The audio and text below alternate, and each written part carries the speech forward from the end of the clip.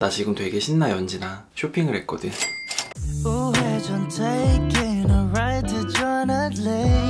눈치 보면서 들어가야 할때 찾아. 나머진 바빠 안녕하세요 제가 정말 가뭄에 콩나듯이 촬영하는 저의 쇼핑아울 사실 계절상 1월에 쇼핑하는 게 되게 애매한 거 아시죠? 근데 생각보다 가지수가 많아가지고 아 이 정도면 여러분들께 소개해드려도 되겠다 싶어가지고 오늘 한번 이야기해보려고 합니다 먼저 제가 지금 입고 있는 니트 자세히 보시잖아요? 약간 매지가이처럼 자세히 보시면 착한 사람들 눈에만 보일 수 있는데 여기 나이키 스우시가 잘 보이시려나요? 나이키에서 이렇게 예쁜 케이블 니트가 있더라고요 가슴팍을 딱 보시면 은 반달곰 마냥 여기 나이키 swoosh가 딱 있다고? 로고의 힘이 이래서 중요해. 이 swoosh가 뭐라고 너무 예쁘더라고요. 너무 예뻐가지고 오늘 요거 입고 한번 촬영을 해보려고 합니다. 저는 살짝 따뜻한 느낌의 아이보리 베이지 톤의 니트고 블랙 컬러도 있어가지고 평소에 저승사자 look 좋아하시는 분들은 블랙 컬러도 추천을 드리고요. 면 소재로 된 니트여가지고 가볍고 부드럽고 저는 이런 neutral한 톤을 선호를 하는 게 그냥 어떤 하의나 어떤 아이템이나 매치를 해도 크게 막 이질감 들지가 않아가지고 무난한 느낌의 아이보리 베이지 톤을 입어봤는데 너무 예뻐요. 달라붙는 fit이 아니고 너무 막 이렇게 가오리 fit이 아니라 정말 예쁜 아주 약간의 overfit이어가지고 fit도 너무 마음에 들고 청바지뿐만 아니라 제가 너무나 좋아하는 jogger pants, sweat pants에 매치해도 너무 잘 어울릴 것 같아가지고 이거는 진짜 휘뚜루마뚜루 입을 수 있는 옷이 아닌가 싶더라고요 제가 맨투맨 스웨셔츠를 너무너무 좋아해요. 근데 이게 디자인이 너무 예쁘더라. 이지지라는 브랜드에서 구매한 하프집업 스웨셔츠예요. 디자인이 되게 귀엽죠? 넥 부분이 약간 시보리가 들어가면서 여기에 컬러 배색을 준 게 너무 귀엽더라고요. 그리고 지퍼 컬러도 그린 포인트를 줘가지고 귀여우면서 컬러 변주도 많이 줬는데 근데 엄청 튀지는 않은 느낌이어가지고 너무 예쁘더라고요. 이 제품이 정가가 8만 얼마였는데 무신사에서 3만 얼마에 세일을 하더라고요. 이거는 내가 사야 되는 운명이다 싶어가지고 냅다 구매했습니다. 근데 저도 이걸 온라인으로 구매해서 몰랐던 사실인데 안감이 기모 처리가 되어 있다는 점 이거 참고해 주시면 좋을 것 같고 적당히 sporty한 것도 너무 귀여운데 이렇게 컬러 배색이 들어간 하프 집업 스웨셔츠가 너무 귀엽더라고요. 그래서 이것도 엄청 잘 입을 것 같은 생각이 듭니다. 며칠 전까지만 해도 이제 날씨가 슬슬 풀리겠거니 싶어가지고 기모 들어간 거 괜히 샀다 싶었거든요. 근데 웬걸 설 연휴 동안 엄청 춥잖아요. 그래가지고 잘 샀다 싶어가지고 스웨셔츠를 3만 얼마에 완전 득템했잖아요. 그래서 거의 뭐 반팔티 하나 산 느낌이어가지고 후회 없이 잘 산 것 같습니다. 제가 미쳐서 보는 패션 플랫폼이 몇 군데가 있는데 그 중에 한 군데가 한스타일이거든요. 한스타일이 예쁜 것도 많고 요즘에 약간 입소문이 슬슬 도는 브랜드 있잖아요. 그게 한스타일에 다 있더라고요. 아 여기 buying을 진짜 기깔나게 잘하는구나 라는 생각이 들었는데 그 중에서 제가 여러분들께 소개해드리고 싶은 브랜드 바로 SOUTH2 WEST8이라는 브랜드입니다. 요즘에 남이서팔로 많이 불리우는 브랜드인데요. 이런 트렌드 빨리 알려드려야 되잖아요. SOUTH2 WEST8 니트를 하나 소개해드릴게요. 너무 귀엽죠? 소재가 보시면 모헤어스럽고 알파카스러운 겉부분이 되게 포실포실하고 shaggy한 느낌의 니트예요. 근데 이런 니트가 이 소재 특성상 입었을 때 살짝 부해 보일 수가 있는데 넥라인이 V넥이어가지고 답답하고 부해 보이는 느낌이 없더라고요. 넥라인을 터주니까 전체적인 body shape이 부해 보이는 느낌이 없어가지고 전체적인 fit이 약간 oversize fit이기는 한데 그게 답답해 보이고 부해 보이진 않는다는 거. 제가 어제 반팔 티셔츠 위에 이 니트를 하나 입었는데 너무 더워요. 후끈후끈하더라고요. 그리고 남이서팔 특유의 이런 패턴 플레이가 너무 예쁘더라고요. 버건디 컬러로 살짝살짝 포인트 준 게 심심하지 않고 너무 재밌고 근데 조잡해 보이지 않아가지고 너무 마음에 들었어요. 그래서 어제는 제가 하나 사놓고 진짜 뽕 뽑는 타일레 pants랑 매치를 했는데 신호 pants랑도 너무 잘 어울리지만 데님에 무심하게 하나 탁 걸쳐줘도 너무 예쁠 만한 그런 니트입니다. 그리고 부산 카시나에서 구매했던 퓨마 콜라보 제품인데 긴팔 저지고 컬러가 그냥 제 톤이잖아요. 나 사라고 만든 옷 같은 그런 느낌인데 앞판은 이런 느낌이라면 뒷면은 이렇게 되어 있는데 제가 완전 반했던 포인트는 팔 부분에 이 퓨마 banding 처리가 너무 귀여운 거예요. 솔직히 퓨마 그렇게 큰 관심이 없었는데 이 저지 사고 너무 귀여워가지고 요즘 퓨마에도 슬금슬금 눈독을 들이고 있습니다. 그리고 뒤쪽에 보시면 이렇게 카시나라고 되어 있습니다. 하나의 저지 티셔츠에 너무 귀여운 깨알 디테일들이 마음에 들어가지고 안 살 수가 없었어요. 그리고 핑크랑 블랙 조합도 너무 마음에 들고 생각보다 활용도가 너무 좋은 옷이어가지고 하나 진짜 잘 산 것 같아요. 저는 오프라인 매장에서 샀는데 카시나 온라인 store에도 이 제품 들어와 있더라고요. 그래서 한번 구경해보시면 좋을 것 같아요. 스웨셔츠 시리즈 쭉쭉 나갈게요. 스포티앤리치 스웨셔츠입니다. 너무너무 유명한 브랜드죠. Sporty & Rich가 그야말로 좀 sporty한 느낌이 있다 보니까 편한 느낌의 오버핏으로 입으면 예쁠 것 같아가지고 제 사이즈보다 조금 더 오버하게 X-large입니다.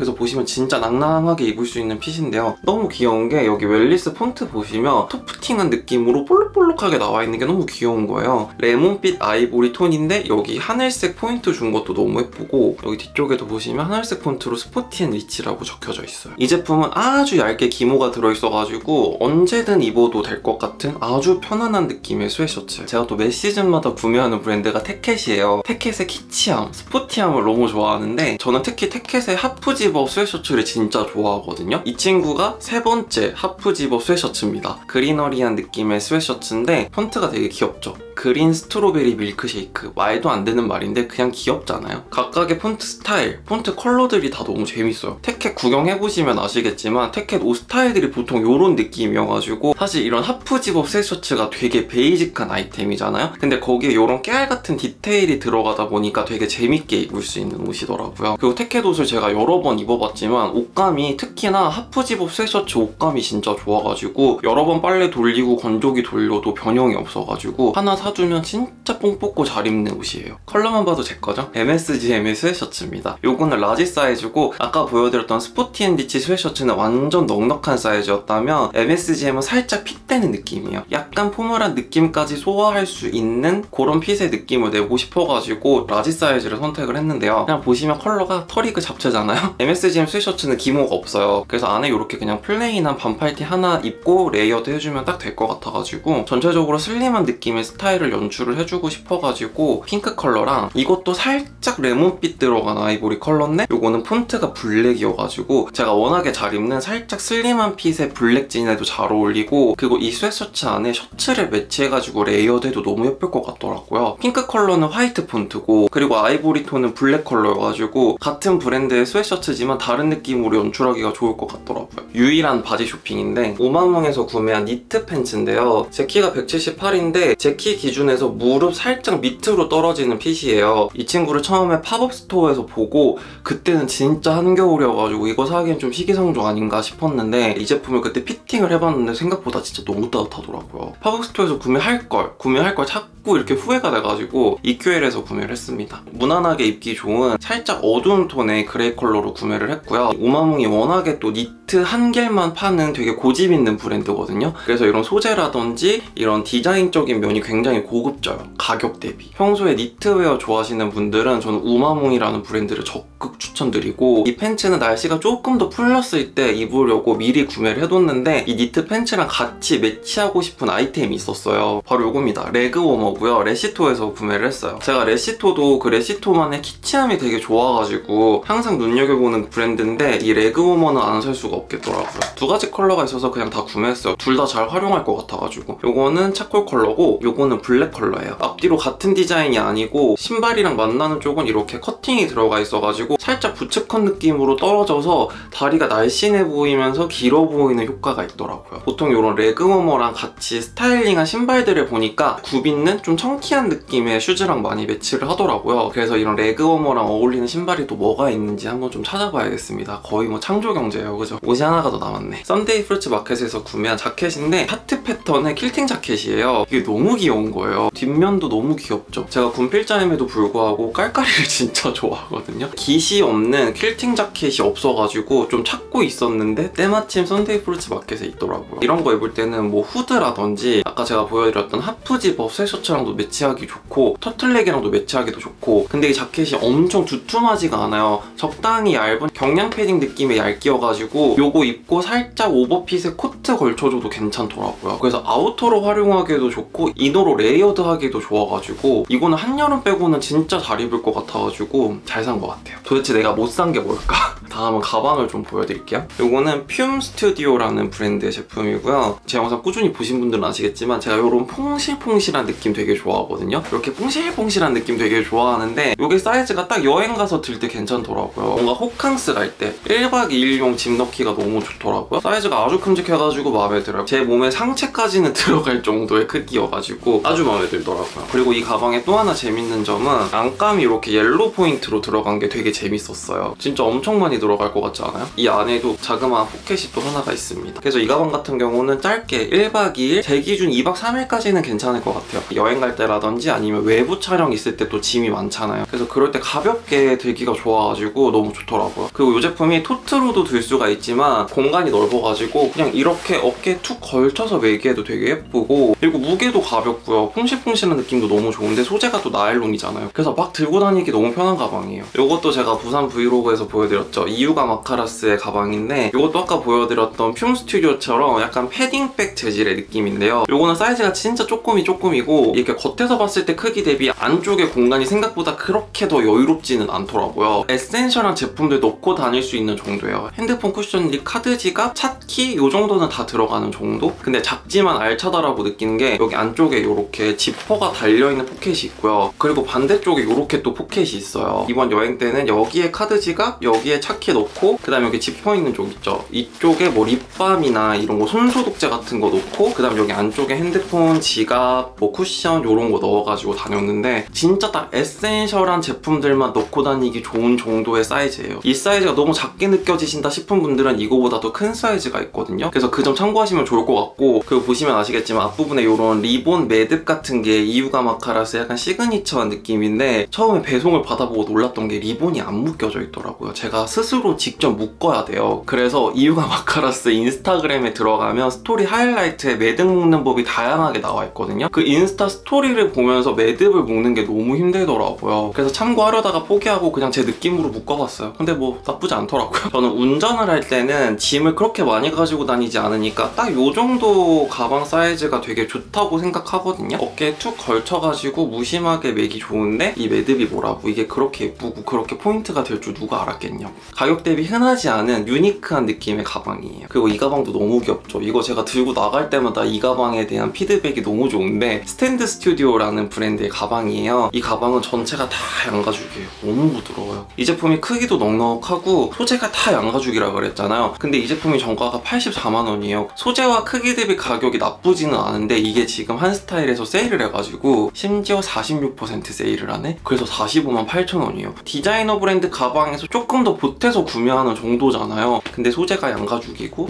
크기도 보부상에게 딱이다. quality가 미쳤다. 디자인도 그냥 어디든 매치하기가 너무 좋고 심지어 크로스백으로도 연출할 수 있어요. 사실상 가방 중에서 블랙 컬러 가장 많이 드시잖아요. 소재, 디자인 놓치고 싶지 않다 하시는 분들은 스탠드 스튜디오 한번 기웃거려 보시면 좋을 것 같습니다. 그리고 양가죽 소재가 너무 부드러워가지고 좀 처지는 느낌이 있거든요. 근데 이 제품은 밑판, 그 다음에 여기 윗판, 옆판까지 다 각이 잡혀 있어요. 가방 안에 형태가 찌그러지지 말라고 무언가 덧대어진 느낌이어가지고 양가죽 소재임에도 불구하고 오래 들어도 변형 없이 튼튼하게 들 수 있는 가방이에요. 그리고 이거는 마뗑킴에서 구매한 가방입니다. 서면에 있는 롯데백화점을 갔는데 거기 하고 매장이 따로 있더라고요. 거기에 제가 눈독 들이던 이 가방이 있어가지고 제 가방 중에서 제가 없는 컬러, 네이비 컬러로 구매를 했습니다. 근데 생각보다 네이비 컬러가 활용도가 진짜 높은 거예요. 제가 아까 보여드렸던 썬데이 프루츠 마켓 퀼팅 자켓이랑도 매치해도 잘 어울리죠? 어제는 사우스투 웨스트 에잇 니트 입고 마뗑킴 가방 매치했거든요? 너무 잘 어울리는 거예요. 그리고 이 가방의 포인트, 버클. 버클을 아래로 누르고 위로 올려주면 이렇게 열려요. 생각보다 공간이 진짜 넓어가지고 뭐가 엄청 많이 들어가요. 같은 컬러지만 소재가 다른 것도 재밌고 shoulder로 멜 수도 있고 이렇게 크로스백으로도 연출할 수 있습니다. 내가 원하는 길이로 끈 조절도 할 수 있고요. 저는 네이비 컬러를 샀지만 컬러가 진짜 다양하거든요. 근데 가격대도 10만원대 초반인데 저는 하고 매장에서 그때 구매했을 때 20% 할인 받아가지고 9만 얼마에 구매했거든요. 너무 잘 샀죠. 득템 한 만큼 엄청 엄청 잘 들고 잘 메고 있는 가방이에요. 마지막 카테고리는 신발입니다. 싸게 싸게 넘어가 볼게요. 뉴발란스에서 운동화를 하나 구매했는데 오늘 제가 입은 나이키 니트랑 너무 잘 어울리잖아. 뉴발 530인데 제가 뉴발에서 530을 진짜 좋아해요. 이게 진짜 가볍고 편하고 엄청 많이 걸어 다녀도 발도 안 아프고 유산소 할 때도 편하고 제가 뉴발 530은 3개인가 4개인가 있을 거예요. 그 정도로 제가 진짜 좋아하는 신발이거든요. 근데 이번에 너무 예쁜 베이지 컬러가 나온 거예요. 이거는 안 사면 안 된다. 내가 가지고 있는 옷들을 신으려 봤을 때 너무너무너무 잘 신을 것 같아가지고 구매했습니다. 가볍고 착화감 편한 신발 찾으시는 분들은 뉴발란스 530 적극적으로 추천드립니다. 진짜 편해요. 제가 굽 높은 신발을 별로 안 좋아해가지고 로퍼를 진짜 선호하는 편인데요. 부산 브이로그 보셨던 분들은 아시겠지만 동부산 아울렛에서 득템을 했습니다. 보테가 베네타 신발, 심지어 last one을 득템을 했는데 보테가 베네타 신발을 40만원대에 구매했다? 안 살 수가 없지. 여러분들한테 제일 먼저 보여드리고 싶어가지고 뜯지도 않았어요. 엄청 짙은 브라운 컬러의 로퍼인데 발등 부분 쪽은 가죽으로 되어 있고요. 굽은 rubber, 고무로 되어 있어요. 그리고 발 들어가는 이 부분은 밴딩 처리가 되어 있어가지고 진짜 편한 거예요. 이런 shape으로 비슷한 제품이 로에베께 있는데 로에베는 블랙이고 요거는 브라운이고 너무 다르다. 근데 last one인데 가격대도 너무 착해가지고 이건 안 살 수가 없더라고요. 이 밴딩이 발목을 엄청 쪼일 것 같았는데 막상 신어보면 너무 편해요. 아킬레스건을 아주 부드럽게 싹 감싸주는 이런 느낌이어가지고 아 너무 잘 샀어요. 보통 이런 로퍼들이 사실 되게 단조롭잖아요. 굽을 제외하고서는 전체로 가죽으로 딱 되어 있어가지고 엄청 심플한데 가죽, 밴딩, 고무 로퍼 하나에 여러 가지 소재가 믹스되어 있는 요소들이 너무 재밌더라고요. 그게 킥이었습니다. 그리고 사실 제가 진짜 염불을 외던 로퍼가 하나가 있었어요. 그게 바로 프라다였거든요. 이실직고 하자면 요거는 한번 신었어요. 참지 못하고 제가 로퍼를 사면 항상 밑창을 한번 덧대주거든요. 근데 프라다 제품은 여기 앞쪽이랑 여기 굽 부분이 한 번 더 덧대어져 있어가지고 따로 수선을 안 맡겨도 되겠더라고요. 그래서 이것도 진즉에 살 걸 왜 이렇게 고민을 했나 싶었지만 너무 잘 샀어요. 전체적인 look은 베이직하게 입어주는데 이 신발을 신어줌으로써 포인트가 탁 되는 거예요. 이게 너무 예뻐 보이더라고요. 특히나 formal한 look을 입을 때 신발에 포인트 주는 거를 좋아하는데 딱 그 역할을 해주는 친구입니다. 한 번 신기는 했지만 착화감이 되게 편했어요. 앞으로도 쭉 잘 신을 것 같은 로퍼입니다. 네 이렇게 해서 1월을 맞이해가지고 쫌쫌따리 쇼핑하울을 보여드렸는데 평소에 눈여겨보셨던 제품들이 있으셨다면 도움이 되셨으면 좋겠고요. 더 궁금한 점 있으시면 아래 댓글로 많이 많이 남겨주시고 그럼 오늘도 미스터리한 하루 되세요. 안녕